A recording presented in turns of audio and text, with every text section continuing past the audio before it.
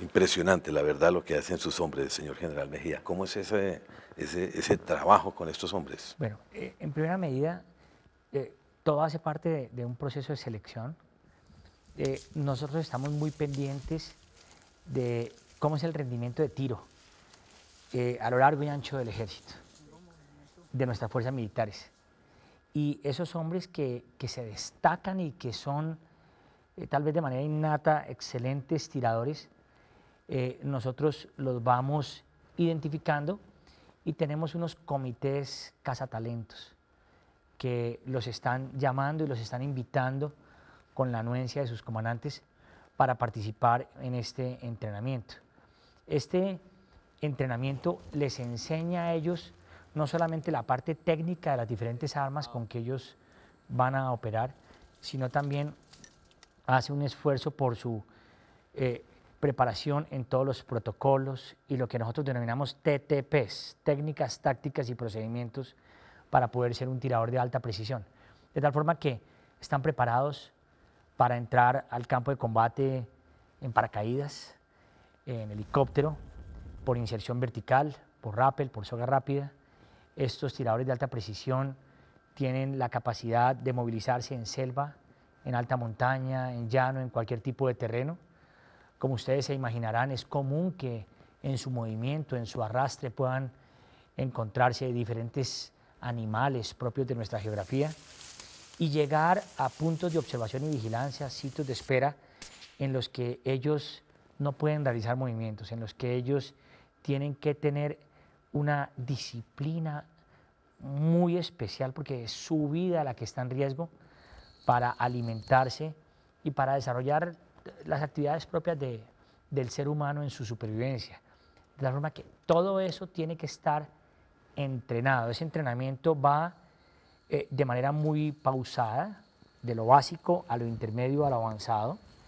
Ese entrenamiento le presenta a ellos diferentes retos, diferentes ejercicios prácticos que en la realidad le va a permitir a esta persona cumplir la misión sin ser detectado en el campo de batalla.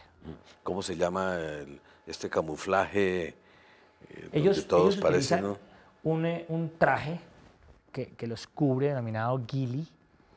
Este, este traje, digamos, eh, lo venden en el mercado, pero normalmente la preferencia nuestra es elaborarlos nosotros mismos porque la vegetación es diferente en las diferentes partes de nuestra geografía. De tal forma que eh, es común que para una misión determinada nosotros hagamos el estudio de cómo es ese terreno y sobre ese terreno y sobre esa vegetación ellos mismos preparan su traje de camuflaje denominado Gili.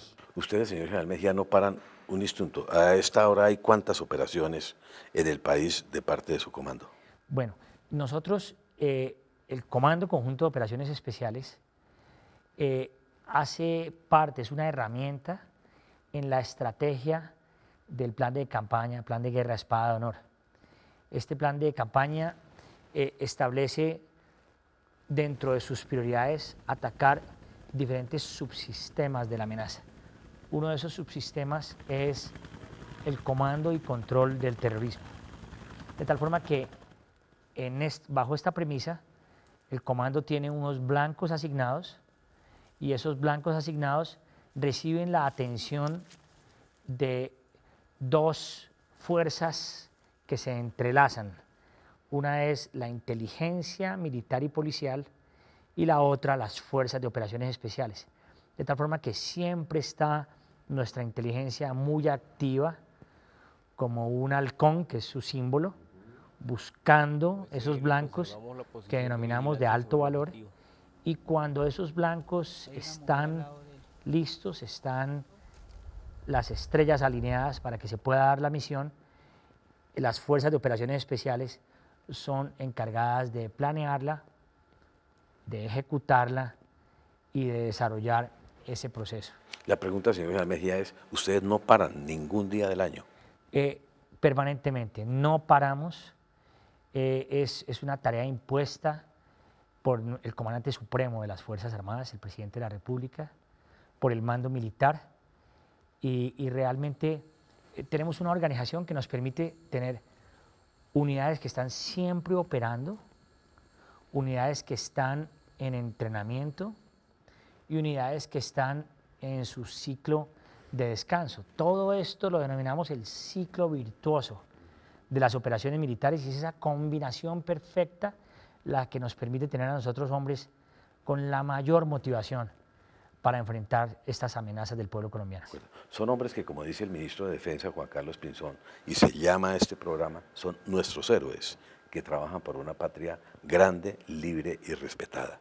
Eh, ¿Alguna operación especial que recuerde? Bueno, muchas. Hablemosle de una o dos, señor General Mejía. La, verdad es que el plan de campaña Espada de Honor, que viene siendo implementado hace aproximadamente unos tres años ya, este, este plan de campaña ha venido dando golpes sistemáticos a esa estructura de mando y control. Y gracias a ello, pues se han podido lograr afectar a eh, cabecillas tanto de secretariado de FARC, el número uno de las FARC, Alfonso Cano es un ejemplo de ello, miembros del el Estado Mayor de las FARC y como lo que ellos denominan cabecillas de columna móvil o frente.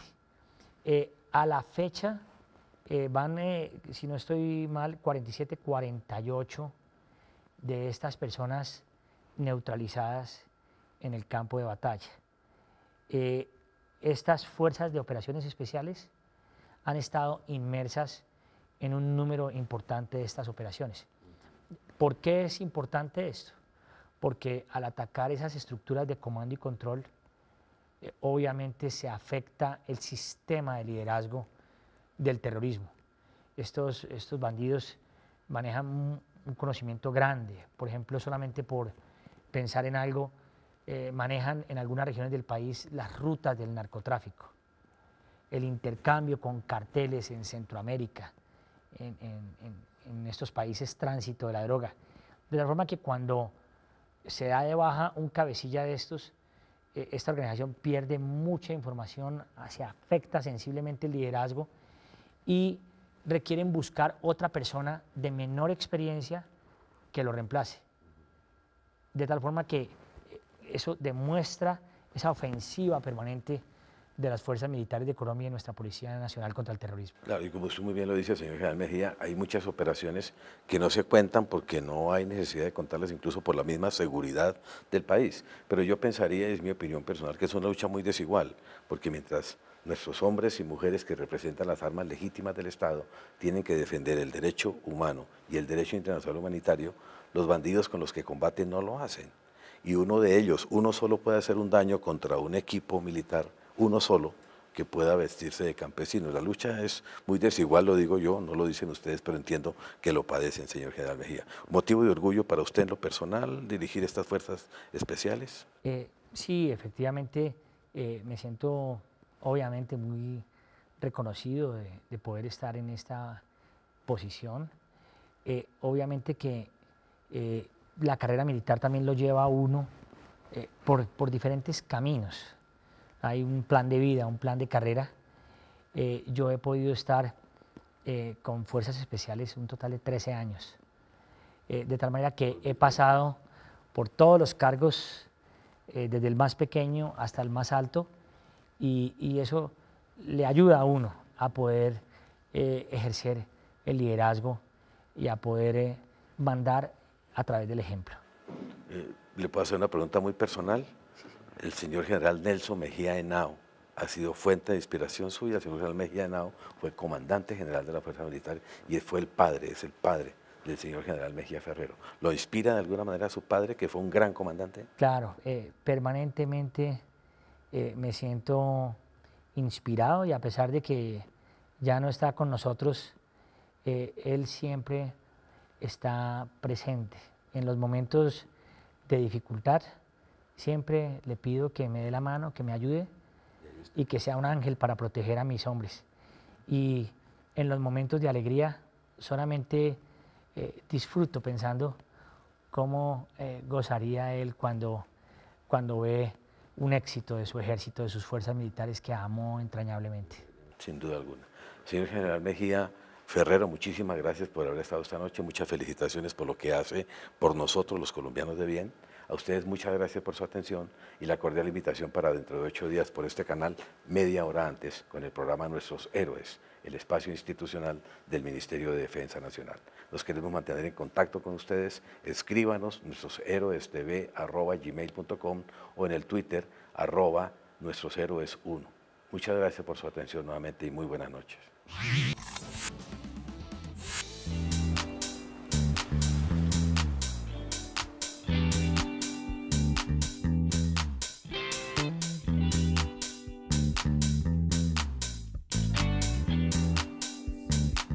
Tener una política de discapacidad del sector y seguridad de defensa hace que todas estas cosas que acabo de escribir, que son una cantidad de tareas, proyectos, dejen de ser un esfuerzo aislado. Y en desarrollo de los documentos de política que ya se han establecido y en desarrollo de la ley que se aprobó en el año 2011, podamos articular de una vez por todas todos los elementos constitutivos del proceso de apoyo para que esas personas que han quedado en discapacidad por cuenta del servicio o por actos heroicos o por situaciones propias del servicio, pues de una u otra manera tengan respuesta en todos los niveles de una manera articulada y con una sola planificación. Esa es la importancia del hecho que estamos teniendo hoy aquí.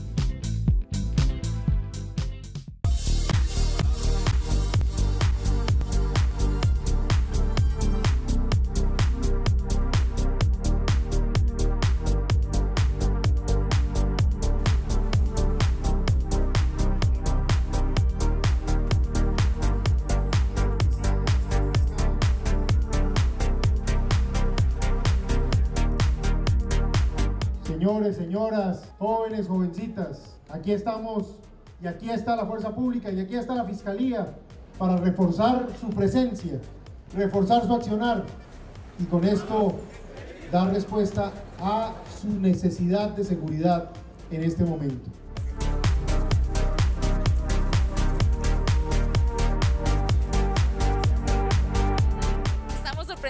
Tener acá la visita del ministro de verdad para nosotros es muy satisfactorio y sobre todo que estamos necesitando eh, esta unidad del Gaula especializada acá en Puerto Gaitán, fundamental, nosotros los, los empresarios de Puerto Gaitán realmente celebramos muchísimo esta iniciativa del gobierno nacional de vernos aquí a nosotros en Puerto Gaitán.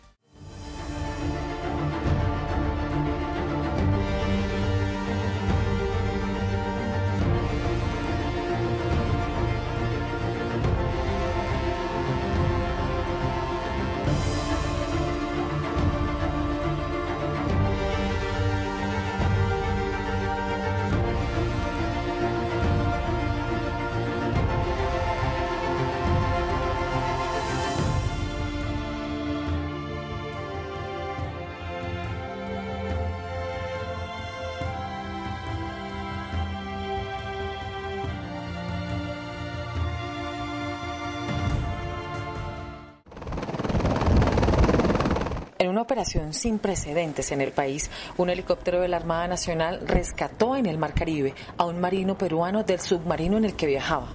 El hecho se registró a 270 kilómetros al noroeste de Cartagena, cuando el oficial de mar segundo Carlos Francisco Rojas comenzó a convulsionar al interior del submarino Islay de la Marina de Guerra del Perú. Desde la embarcación solicitaron apoyo de la Armada Nacional de Colombia, que envió al lugar un helicóptero con una oficial médico. Tras ser rescatado, el marino fue estabilizado y llevado a las instalaciones de la Fuerza Naval del Caribe y de ahí remitido al Hospital de la Armada Nacional. Según el parte médico, Rojas se encuentra en buen estado de salud y fuera de peligro. La Armada Nacional continuará desarrollando operaciones con el fin de salvaguardar la vida en el mar y apoyando a las marinas amigas en situaciones que así lo requieran.